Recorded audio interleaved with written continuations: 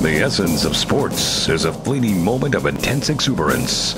Life at its most exhilarating. At its best, sports acknowledges yet counteracts life's brevity by allowing the viewer to savor the intensity of a moment in motion.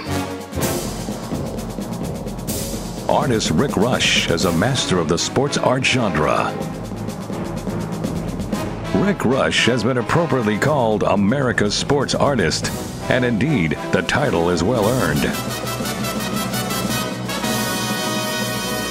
Through his masterful interpretation and rich evocative use of color, Rush is able to preserve some of sport's most stellar transitory moments as enduring commemorative testaments to the magnificence of both the exciting sports events and their incomparable athletes.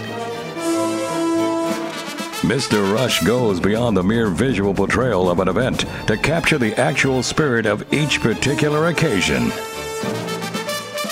This remarkable ability has moved well known novelist and poet James Dickey to assert that Rick is able to render the explosive essence of an action with more feeling of its reality than any numbers of actually moving images, such as those made possible by film, could do.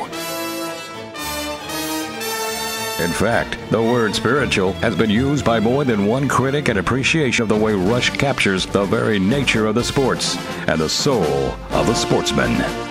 The moments he preserves are not frozen in the nostalgic stillness of the past, but breathe with a life of their own.